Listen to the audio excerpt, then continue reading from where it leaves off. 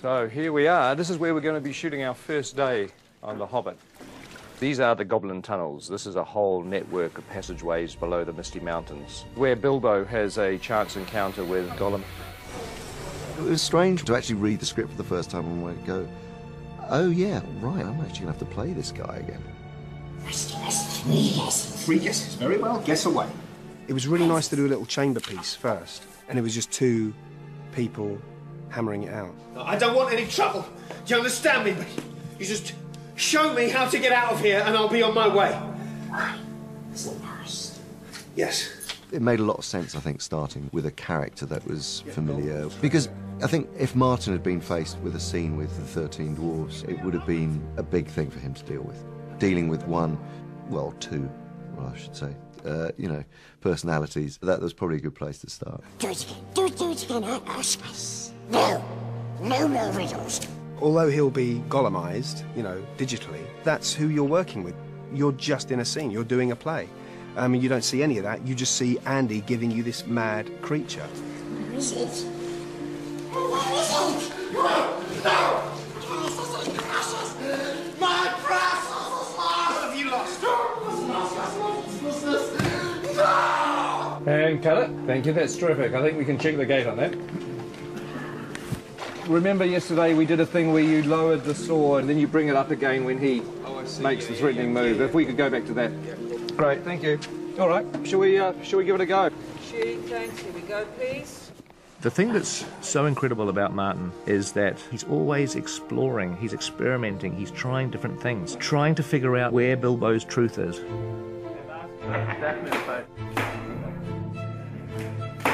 Great.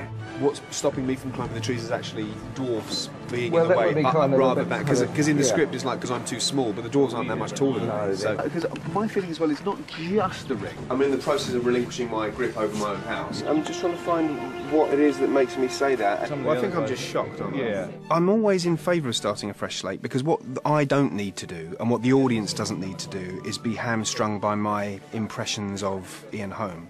It was one small chest and hardly overflowing. And it still smells of troll. Ian Holm had already set the bar, you know, for what Bilbo was. There's a lot about Martin that is very Bilbo-like. He's probably one of the, the nearest people to a hobbit that I've ever actually met. Don't know whether he'll be happy hearing that or not. I think we could. And that is a um, wrap on Martin Freeman as the Hobbit.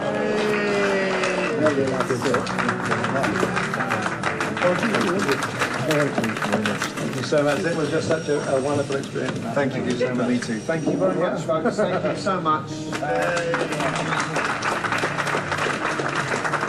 I'm, I'm tempted to say uh, thank you and goodbye, but as we all know, uh, it may it may be au revoir. But in case it is goodbye, thank you so much. It's been an amazing two and a half years, and uh, yeah, I couldn't put into words briefly enough what it's meant to me. But rest assured, it's it's meant uh, an awful lot. So thank you very much.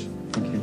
Good man, James. Been our pleasure having you. Thank you. They like giving presents. That lot. They're, you know, they're, they're big, soppy people, really, and I like that about them. That's beautiful. He's made me slightly better looking. Look at that. I'm a very unsentimental person, really, when it comes to work. And this wasn't really hitting me much. You know, like the magnitude of it's my last day. You know, it wasn't really hitting me until Graham McTavish, who plays Dwalin, came over and said, "It's been really nice." man." His voice started to break, and I was like, "Oh, crap, I'm going to go." You know, and it came out of nowhere. It was really, it was really strange. And then it, it does suddenly hit you that, wow, yeah, I came here two and a half years ago with these people, and we've gone through a real thing together. You know. Such an honour, man, and pleasure. And um, you have a hoodie the deck, but you basically did it all and came out unscathed. It's been on a mate. It really has.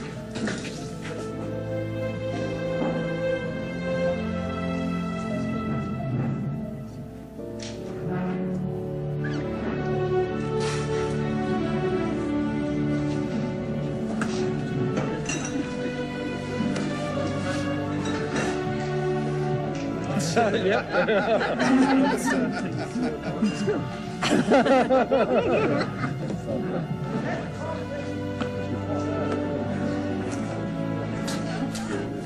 a wave, a wave, a wave.